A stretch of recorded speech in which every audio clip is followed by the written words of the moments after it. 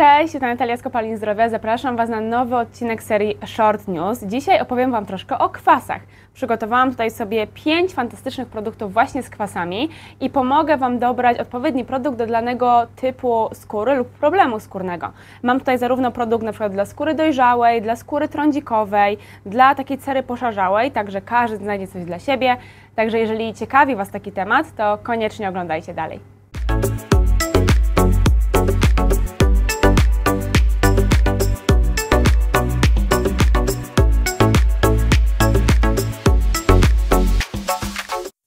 Dobra, to zaczynajmy. Na początku biorę na tapet taki problem, jakim jest poszarzała skóra. Często pytacie nas właśnie o takie produkty, które delikatnie rozświetlą skórę, dodadzą jej wigoru, które na przykład rozjaśnią ewentualne przebarwienia.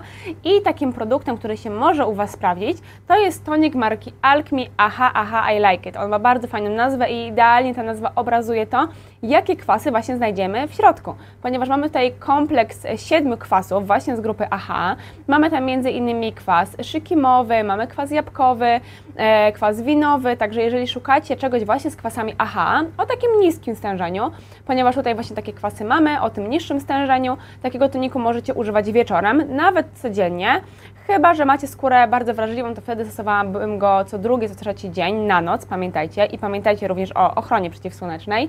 I już po kilku takich użyciach możecie zauważyć, że ewentualne przebarwienia szybciej znikają, że skóra ma poprawiony koloryt, że jest taka bardziej, wiecie, glow. Także jeżeli to jest to, czego właśnie szukacie, czyli takiego właśnie rozświetlenia, no to wybierzcie właśnie tonik marki Alchemy. Jeżeli chodzi o kwasy, to chyba najczęściej pytacie nas o polecenie właśnie produktów z kwasami dla skóry trądzikowej albo ewentualnie z takimi zaskórnikami otwartymi, czyli wągrami. E, I tutaj na pewno mogę Wam polecić mojego no, życiowego ulubieńca i jest to Matcha Powder Peel e, z Veoli Botanica i jest to produkt, który zawsze jest w mojej łazience, zawsze musi być w mojej łazience, ponieważ uwielbiam go, uwielbiam to jak wygładza moją skórę, jak właśnie pozbywa się dosłownie tych zaskórników otwartych, czyli wągrów.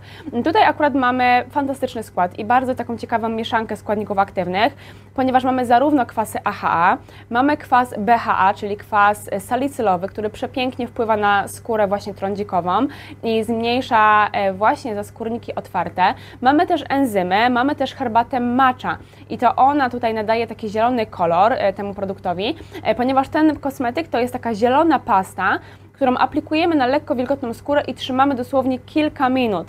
Ja zawsze to e, robię tak, że na właśnie wilgotną skórę po, po demakijażu aplikuję ten produkt, e, myję zęby w tym czasie e, i po takich dwóch, trzech minutach po prostu go zmywam już od razu. Nie trzymam go dłużej. Ja już po takim krótkim czasie widzę świetne rezultaty. Stosuję go no tak około dwa razy w tygodniu i naprawdę widzę, że moja skóra jest w ryzach, pojawia się mień niedoskonałości, także jeżeli właśnie Wasza skóra, tak jak moja, jest skłonna do wyprysków i pojawiają się zaskórnki otwarte, wągry, no to Veoli Botanica to jest produkt idealny dla Was.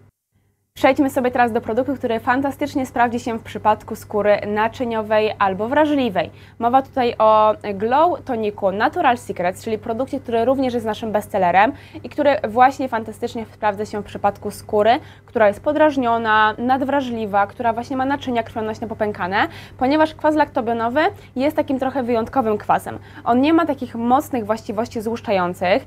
E, co prawda ma takie, czyli delikatnie złuszcza naszą warstwę rogową na skórkę, ale też działa wzmacniająco, łagodząco, więc właśnie fantastycznie sprawdza się w przypadku takiej skóry podrażnionej. E, ale w tym produkcie mamy też na przykład niacinamid, który jest polecany w przypadku skóry zanieczyszczonej, z trądzikiem. Mamy też probiotyki różowy lotos i aloes, czyli znowu trzy fantastyczne składniki, które działają kojąco i łagodząco. Więc jeżeli szukacie takiego produktu z kwasami, który będzie łagodny, e, ale da fajny efekt, no to Natural Secret to jest produkt, który powinien wylądować w Waszej kosmetyczce.